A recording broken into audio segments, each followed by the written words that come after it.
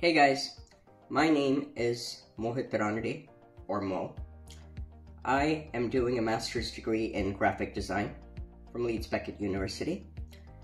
I have nominated myself for the roles of Events and Activities Officer and NUS Delegate.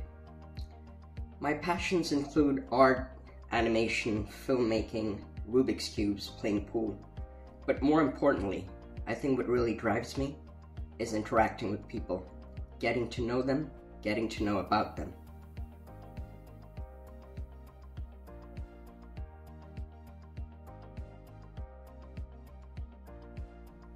If I am elected for the roles that I've been campaigning for, the first thing I would do is have a word with the welfare officer and find out what are the exact issues that the students are facing and then organize activities and events accordingly.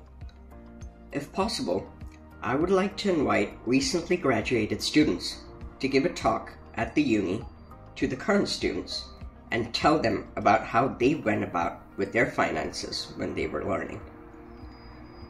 Another thing that I would love to push for is discounted entry fees for the activities and events that I would organize that aren't based at the university premises.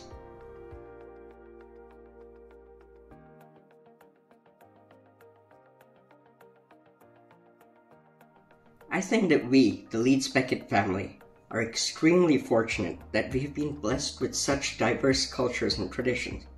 I mean, we literally have students from all over the world. So why not take advantage of that? We should obviously have events and activities pertaining to individual cultures their yearly celebrations and traditions.